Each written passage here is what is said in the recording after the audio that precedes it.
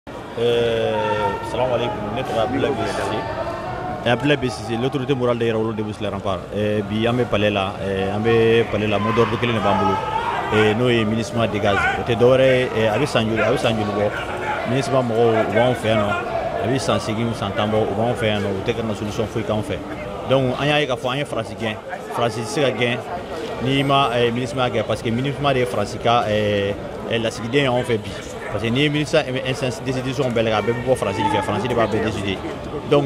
eh, anw bɔkun ye bi ye pour que ka eh, minisma k'a fɔ minisma mɔgɔ ye d'ici le 22 septembre u ka taa ka bɔ yen yɛrɛwolo degusi lɛrɛn barika hakilina don maliyɛn bɛɛ ka hakilina ye bi ye minisma ka taa ka bɔ yan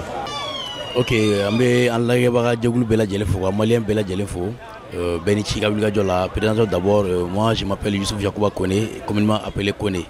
euh, ne ye yɛrɛwolo coordinateur ye Sikaso ɔ bi an ye wele bila maliyɛn bɛɛ lajɛlen ma farafinden bɛɛ lajɛlen ma an ka ɲɔgɔn sɔrɔ palais de la culture la yan min ye minusuma ye a bɛ waleya jugu min na an ka jamana in kɔnɔ a nana ko min kama n'a tɛ ka se ka olu waleya an ka wulikajɔ bɛnnen don ko minusuma ka taa ka bɔ mali territoire sanfɛ komi an bɔra ka wulikajɔ kɛ ka faransi dagajugu gɛn ka bɔ an dala cogo min na an b'a dɔn minusuma bɛ o walejugu kelen de la minusuma ni faransi o bɛɛ tɛgɛ bɛ ɲɔgɔn bolo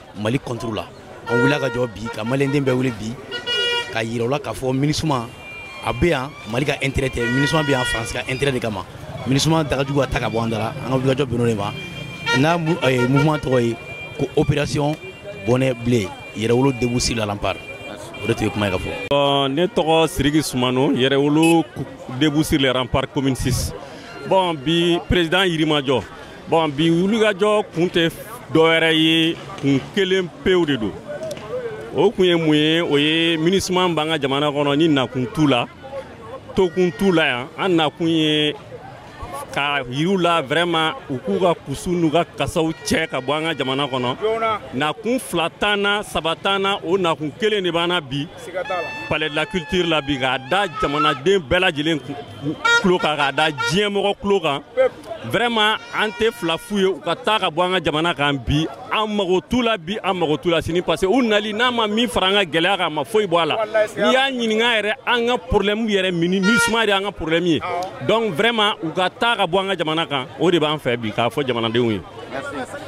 salamu aleykum awuzubilayi mina sitan narazim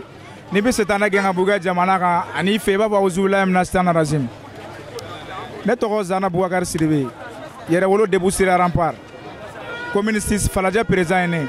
bɔn nakun fila tan na nɔ bi i n'a fɔ n balimakɛ eh, yirimajɔ perezan bɔra cogo min na siriki sumano minisiman de ye problème ye diɲɛ bɛɛ kɔnɔ n'u taara yɔrɔ min na n'u ma dɔ fara o problème na u tɛ dɔ fara o solution kan bɛɛ y'a ye depuis de 2012